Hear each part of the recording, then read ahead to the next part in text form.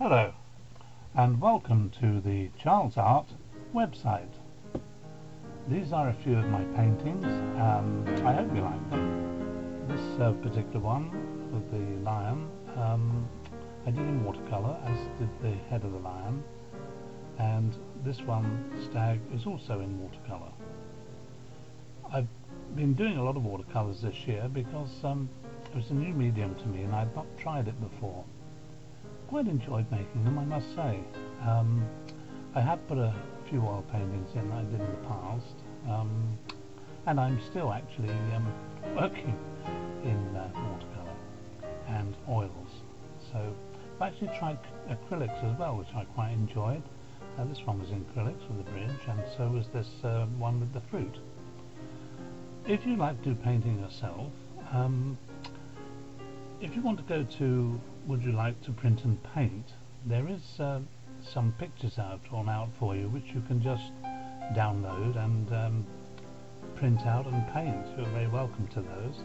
Uh, I have to charge for that of course just to, to run the website but it's a very nominal sum now. It was, was about 30 odd pounds. It's now down to um, 9.95 so hopefully affordable for everybody also, while you're there, you can check out our uh, cinema, which um, has a lot of useful stuff on that, which hopefully you'll find exciting and interesting.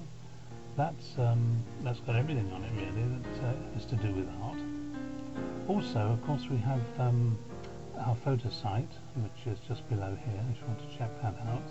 And of course, um, on the left at the bottom there is uh, Stoke-on-Trent, the town where I was uh, most influential in, in doing my sculptures.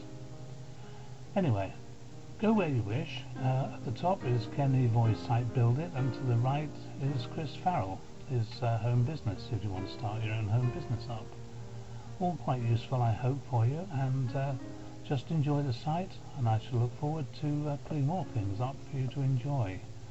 Um, the last thing I did actually in the last few months anyway um, was um, one of um, uh, where's it called? Salisbury Cathedral which um, I quite enjoyed doing. It took me quite a long time. If you want to see a film there it is there.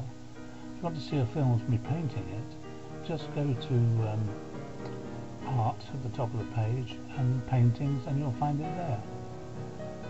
And whilst I was at it I thought well I might as well put in my little dog. There she is. She's Phoebe. Love her to bits.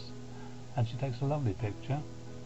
And uh, that's it really from me. So hope you enjoyed it. And um, come back to me soon.